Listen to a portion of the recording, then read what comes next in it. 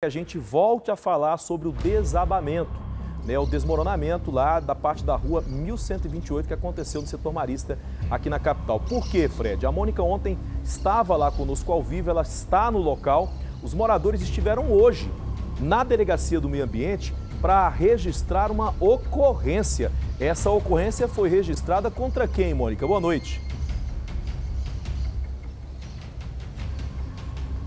Boa noite, Fred. Uma ótima noite para todo mundo que está assistindo a gente. Fred, é, essa visita, né, essa procura é, melhor dizendo, pela Polícia Civil, se deu em função de uma insegurança dos moradores para voltar para um dos prédios, né? O prédio que fica um pouco mais afastado da obra.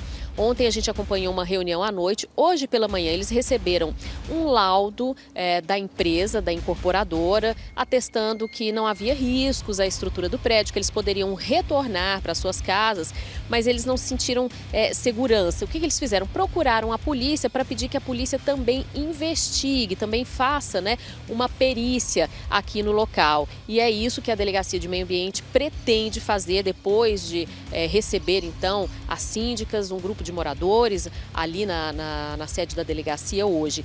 Esses moradores também procuraram Ministério Público, o CREA, né, que é o Conselho Regional de Arquitetura e Urbanismo.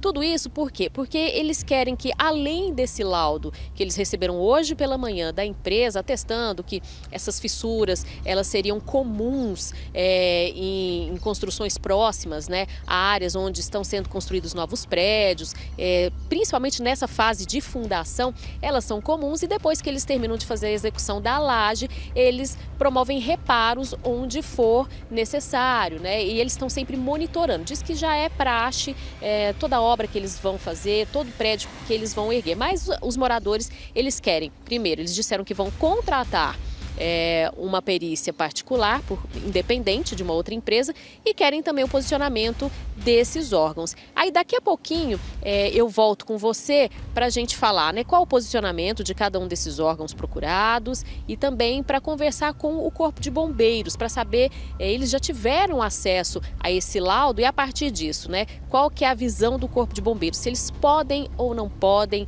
já voltar para casa com segurança. Fred? Mônica, muito obrigado pelas informações. É, é, olha, os moradores errados não estão. Estão com medos, apavorados e querem aí uma certa segurança para poder voltar para casa. Por isso resolveram tudo isso. A Mônica volta daqui a pouco, a gente vai trazer até esse questionamento para saber como que fica a situação desses moradores aí na região do, do Marista.